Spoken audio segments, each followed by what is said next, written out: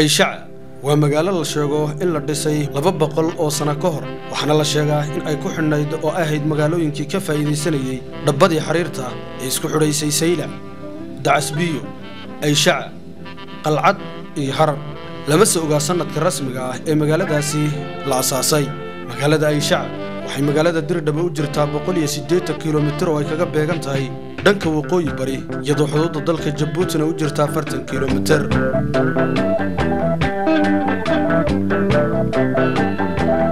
Magaalada ayshaca oo ah magaalo aada qadiimi u ah islamarkaasina ilbaxnimo kala duwan soo martay ayaa waxay ku taallaa meel istaraatiiji ah. Magaaladan gugu markuu ah kun iyo sagaal boqol iyo lixdankii waxaa ka dhacay xasuuq aad u baan kaasi oo uu geystay taliskii hogaaminayey boqor xayle salaase waxaana xasuuqaasi ku dhintay kumanaan qof oo ra'ay shacaa in ka badan intaasina waa ay ku barakaceen. Magaalada ayshaca waxay soo martay marxalado kala duwan iyada oo maamullo kala duwanna ay soo mareen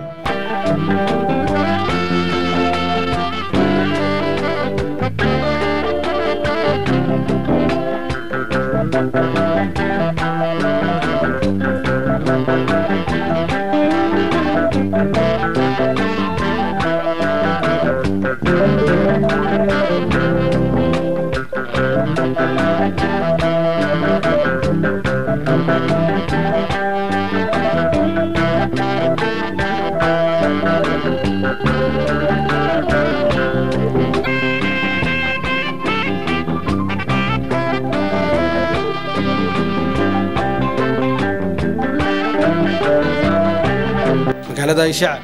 sidoo kaleeta waxaa la filayaa sanadka dambe in la dhagax dhigo. Kuliyadda farsamada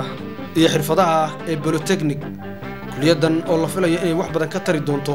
shaqa abuurka iyo sidoo kale inay dhallinyaradu iskeed wax u qabsato.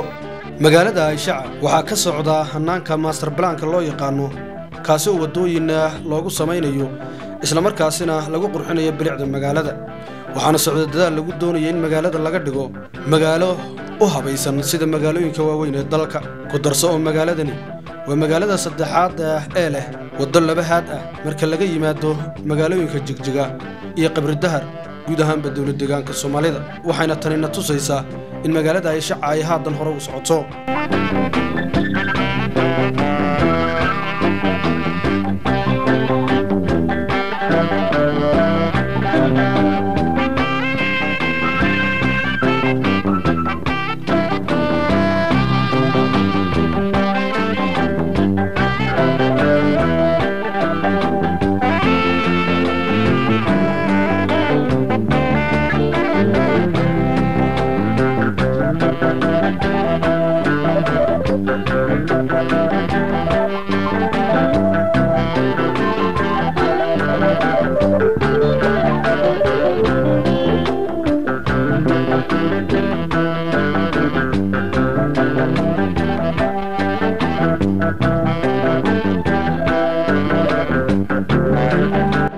magaalada ayshaco waxa ay leedahay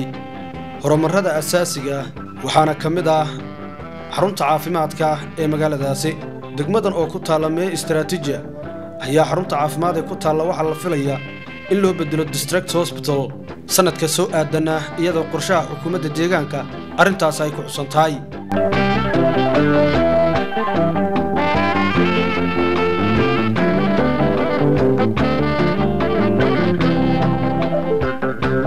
Dhabbada cusub ee xadiidka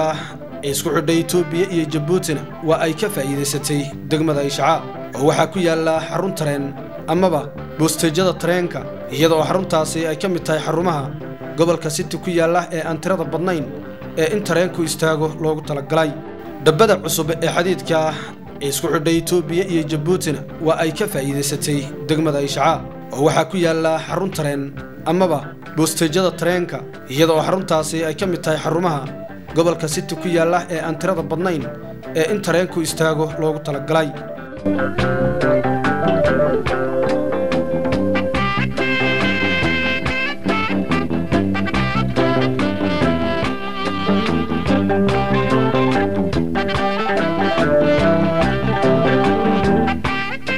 magaalada ayshaca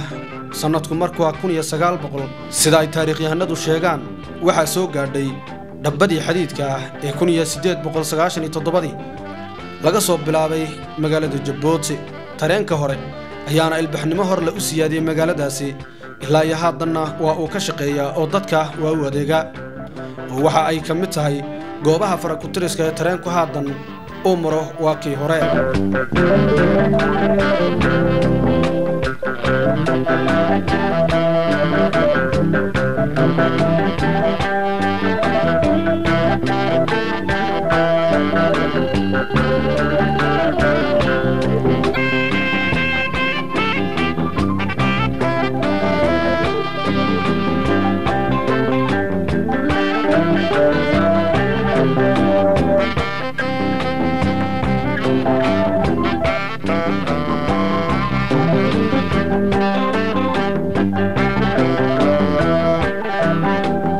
magaalada ayshaca sidoo kale waxay ka faa'iidaysatay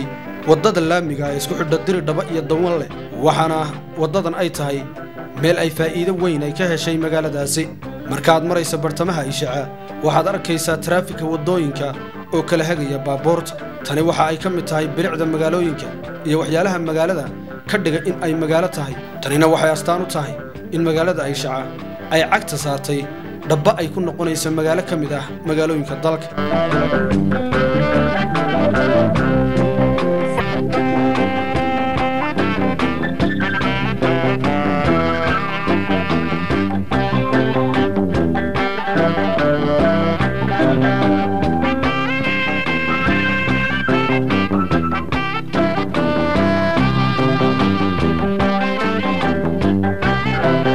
kaalmaha shidaalka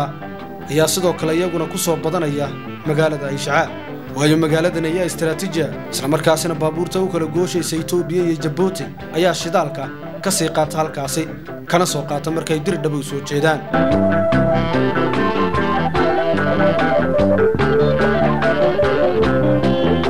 Sidoo kale waxyaalaha horumarka asaasiga ee ka jira degmada waxaa ka mid a adeegga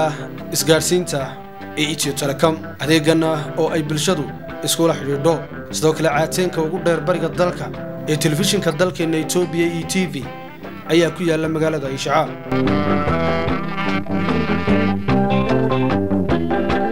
adeegyada baananka ayaa sidoo kale ka furan magaalada ayshaca